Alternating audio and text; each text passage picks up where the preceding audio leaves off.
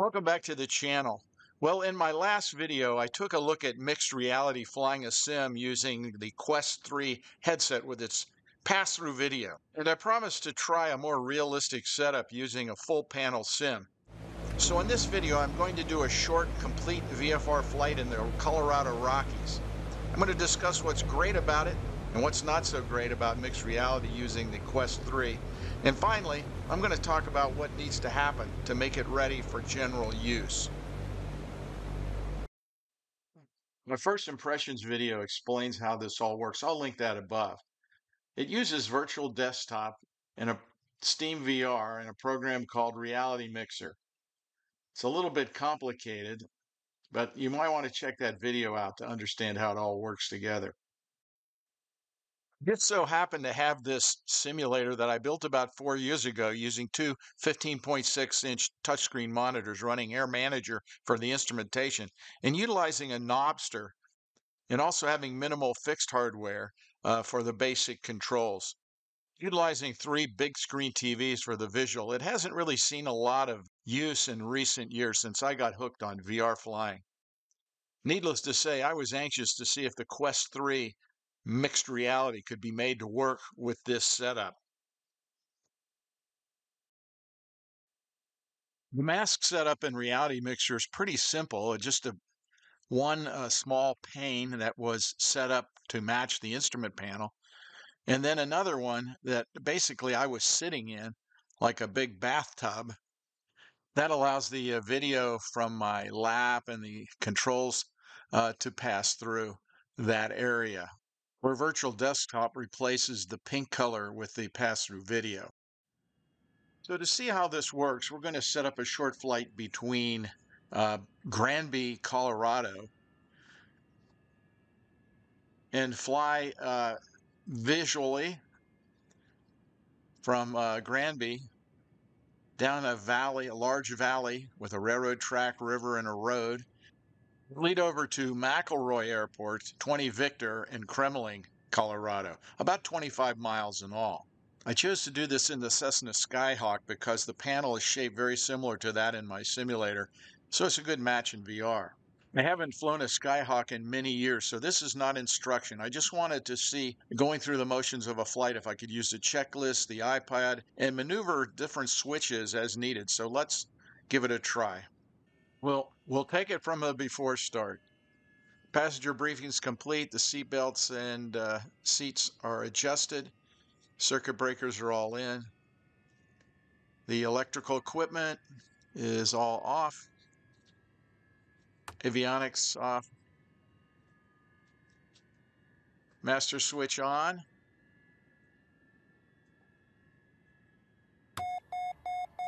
Fuel selector both. Fuel shut off is full in. Starting the engine. Throttle's cracked a quarter inch. Mixture set. Clear propeller area. It's clear. Master switch to on. It's on. And the beacon light on. It's on. Mission switch on. And we'll advance the mixture.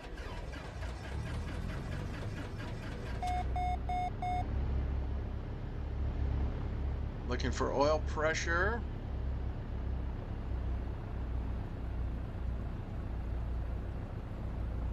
Pressure's good and the nav light's on.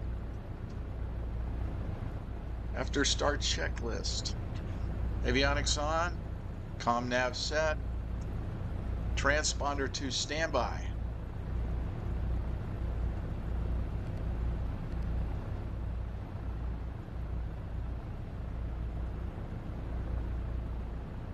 Altimeter set. Transponder set to 1200 for VFR. And the horizon is checked. Ready for taxi. Taxi light on. Parking brake released. We'll do a brake test.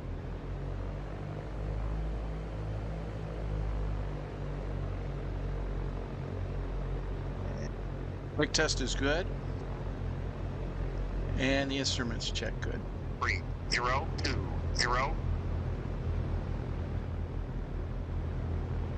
Granby, Grand County Airport, Emily Warner Field.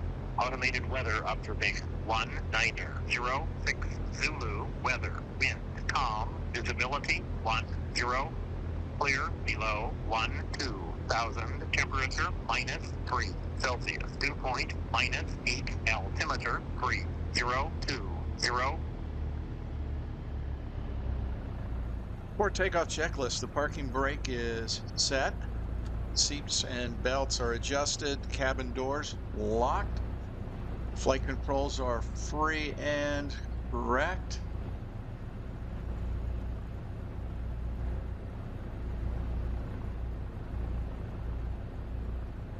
Flight instruments uh, are checked. The compass and the HSI headings agree. Fuel level is good. Half tanks, mixture, rich. We'll adjust the mixture on the runway. Fuel selector, both. Throttles, 1800.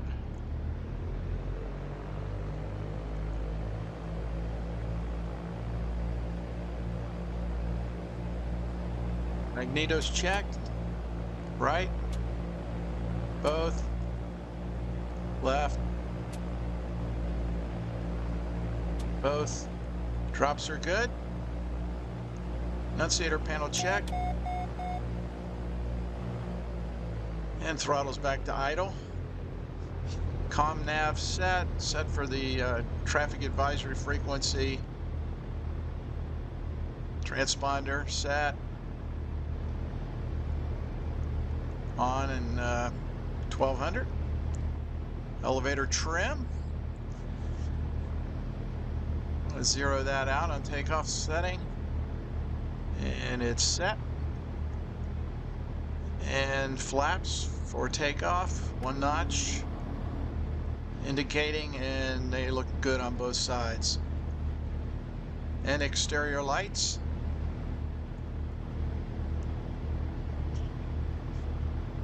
They're set. Okay, final clear flaps are set for takeoff. We'll adjust the mixture on the runway to maximize the power. Lift off at 55, climb 70 to 80. Transponders on altitude. Takeoff checklist complete. Heavy traffic, Cessna, Skyhawk, 10 Romeo Bravo, taking the active runway 27, departing west, Granby.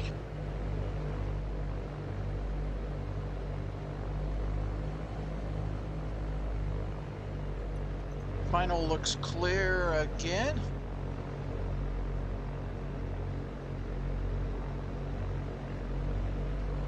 Runway's clear. See runway 27 and the heading is confirmed. Flaps and trim rechecked. Let's push the power up and lean it a bit here. Try to get some power here at 80, over 8,000 feet. It's good. Hack the clock and we're on our way.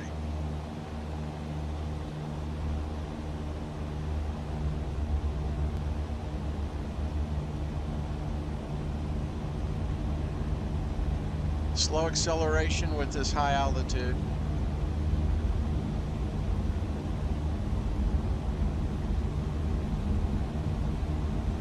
Rotate.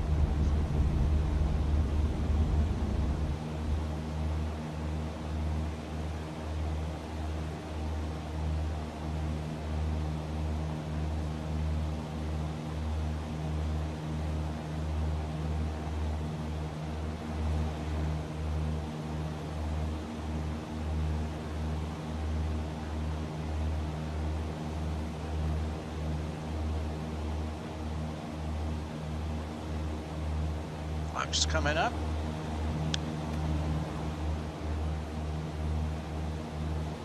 Climb checklist is complete. See that little pass about 11:30. Uh, should see the river and the uh, railroad tracks and the road going through that pass. And then we'll make a left turn, kind of follow the river. True IFR flying. I follow railroads, I follow rivers, I follow roads.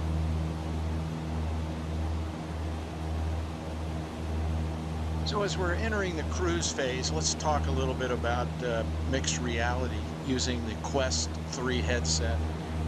I got to tell you, first of all, that uh, mixed reality has lived up to my expectations, and they were pretty high. Being able to see your hands, your controls, as you can see, I could use the iPad, checklists, even with the resolution of the Quest 3, it, it's really no problem. Uh, I wouldn't want to fly IFR and try to read uh, the smaller text on uh, the glass displays. But that was true with some of the earlier uh, headsets that we had too. So that's not a problem. It's going to improve itself over time. I think you can see uh, that the physical panel blends very naturally with the exterior. Uh, you can see that red line, that's an artifact that comes from Reality Mixer. Uh, obviously, we'd like to get rid of that. But if it's positioned correctly and it's sized and shaped the same, uh, it, it blends perfectly with the glare shield of the uh, simulator and uh, it looks very natural. Obviously, the instruments are not quite as, as detailed as the model and the lighting isn't completely right. But other than that, which could be corrected if you really wanted to, uh, it, it's an excellent experience. The alignment and the scale of the pass-through video, uh, the stereo video, is, is uncanny.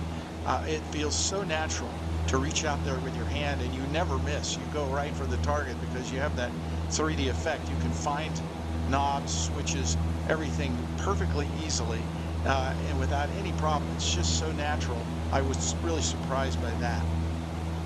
While flying in VR may be uh, visually a bit more immersive, uh, being able to reach up there and make inputs with your hands, uh, to look at the panels, touch things and adjust them, it's just uh, very much more realistic and immersive when it comes to actual piloting skills.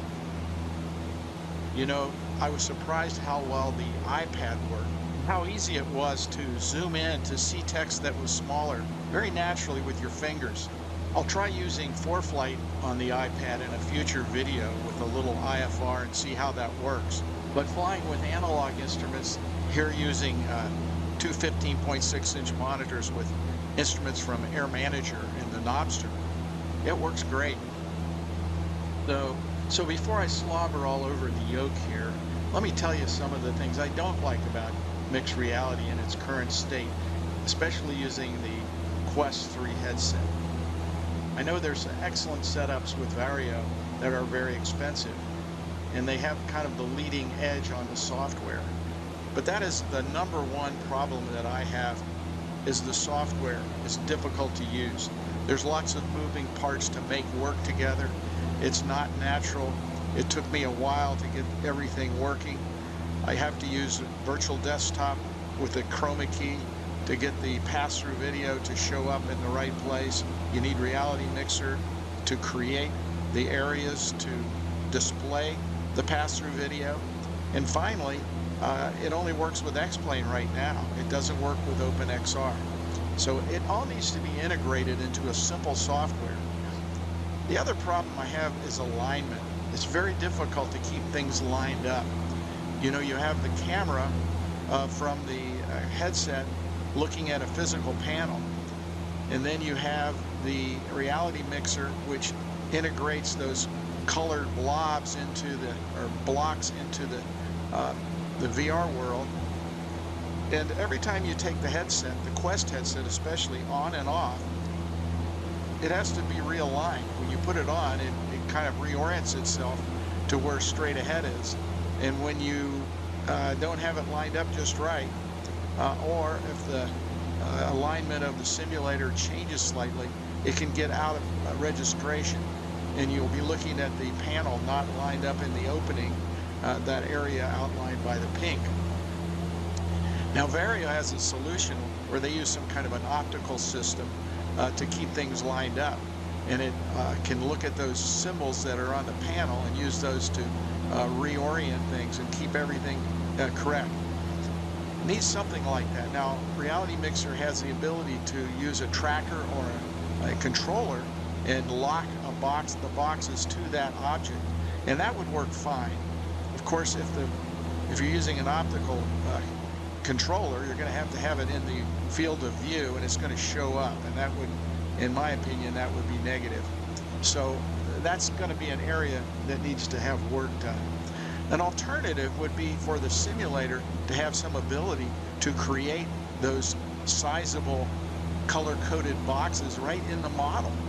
And you, once you got them positioned, they would be positioned in the model. Uh, you could create a copy or make them so they can be shown and taken away. And you could just place those in front of the uh, panel and, and, and below your position of your head in the simulator, much like what Reality Mixer does. And if they were color keyed correctly, the chroma key, which is pretty common in most pass-through systems, would be able to uh, show the pass-through video in those areas. While Virtual Desktop is a great piece of software, and I have to give them kudos for developing the chroma key system to create pass-through, it would be nice if the simulators or the headset manufacturers could create that same kind of software and integrate it with their systems. My hope is that uh, videos like this will bring attention to mixed reality and cause a, a demand for people to have better software. I know there's some very innovative developers out there in the uh, Microsoft simulator world and uh, X-Plane world who could easily do this probably uh, beyond my pay grade, but it would be excellent if, if we could have an open VR uh, ability to integrate this sort of thing right into uh, the software that runs our simulator in, in uh, VR with our headsets like uh, Open XR. I was I was surprised that the uh, instruments were fairly easy to read, even with the lower resolution of the headset. I made those instruments uh, life-sized, and uh, they're easy to read, although some of the smaller print on the G5 is difficult. Excuse me while I grab the uh, Kremmling AWOS. 5, altimeter 3024.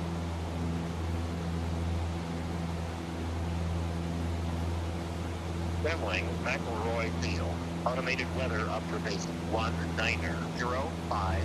Zulu, weather, wind, calm, visibility 10, clear, below 1, 2000. Temperature minus 5 Celsius. Dew point minus 5. Altimeter 3024. And the descent checklist, uh, power, We'll reduce that as necessary. Mixture, rich. Fuel selector to both. It's both. And the landing lights on. Still on. Approach, altimeter,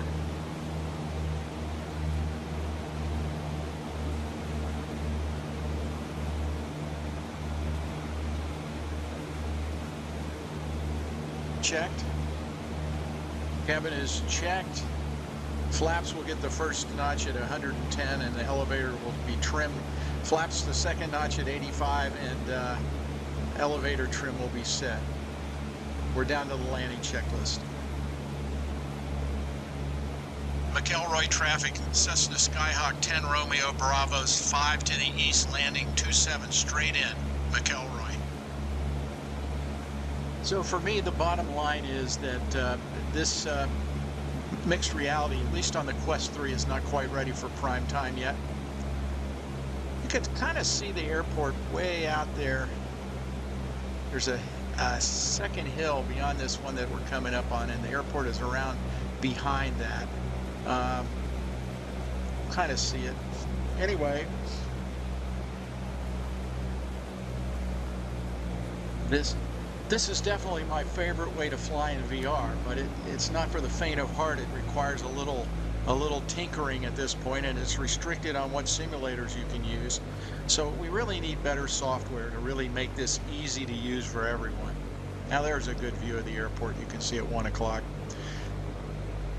McElroy traffic, Cessna 10 Romeo Bravo, three mile final, straight in 27, McElroy. Currently, uh, Varjo uh, Labs uh, software from Varjo is a really a turnkey solution for this sort of MR training. And uh, mixed reality, it will be here. It's just a matter of a little more time. And I'd like to see, uh, I'd like to see it come faster. But in the meantime, uh, this is definitely worth the experience if you're willing to put the effort in to get it working. We're geared down and full flaps. The landing checklist is complete. I think this is really going to be awesome for cockpit builders. Imagine some of these 737s or Airbuses or, or other advanced simulators that guys have built. They're going to be able to uh, maybe show the virtual world through the windows of those simulators. And then there'll be people like me who'll build a, just a front panel and a basic simulator and incorporate that. Grease job to go.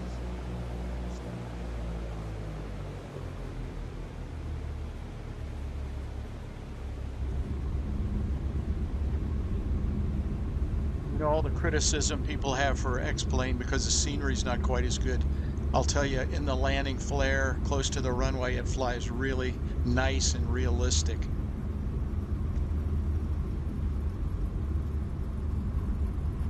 This uh, runway, it drops off with a pretty steep drop there past the turnoff point, and it, when you look down the runway, sometimes it gives the illusion that the runway's shorter than it is.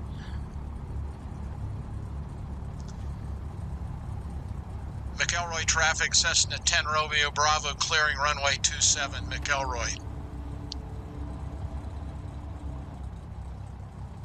Well, uh, thanks for riding along. Uh, it's nice to get to share with uh, everyone my feelings about mixed reality, my hopes for it, and I uh, hope that I've instilled some interest in you, that you might look into it if you're the kind of person who wants to uh, geek out a little bit and give it a try as an early adopter.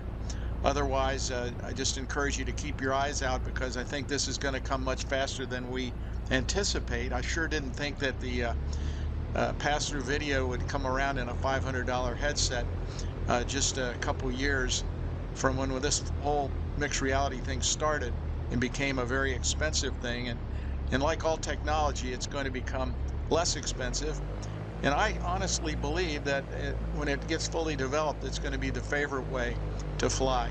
I know there's lots of hand tracking systems, but they all have limitations. And, uh, you know, this is uh, certainly, oops, drop my checklist. See, I can even look down and see my checklist on the floor of my simulator. Anyway, thanks for flying. I hope you liked this video. If you did, uh, give it a thumbs up, like, share, with your friends. If you're not a subscriber, go ahead and subscribe. Only about uh, a third of the people that watch my videos are subscribed. Thanks for watching. Hope to see you on my next video. Looking brake set. Throttles to idle. Avionics are off. Transponder off. Lights off. Mixture lights off. Mixture to idle. Master switch off and the chocks in position